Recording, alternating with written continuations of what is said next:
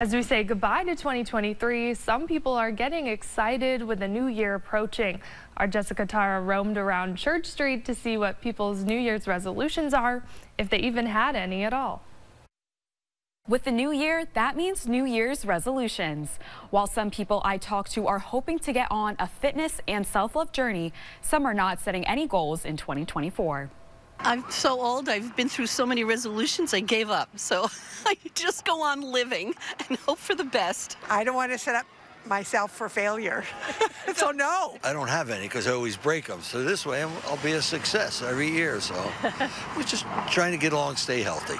Others are hoping to just make it through to next New Year's. Basically, staying healthy and keeping alive. With uh, as you get older, you always that's the big important part to having fun. Some are looking forward to small goals throughout the year. Bianca Bennett of Connecticut says she wants to be kind to herself in 2024. Maybe just like how I'm feeling lately, I know I can definitely be nicer to myself, and you know that's kind of where self-worth and self-love starts. So you got to be kind to yourself, and I know I can be hard on myself, so definitely can be better with that. And her friend Nikki Stemler says she wants to protect her peace. So I can remain level-headed and not take on other people's anxieties to make myself anxious. Christina Foley of Connecticut shares similar goals. In 2024, I am going to start thinking a little more about myself.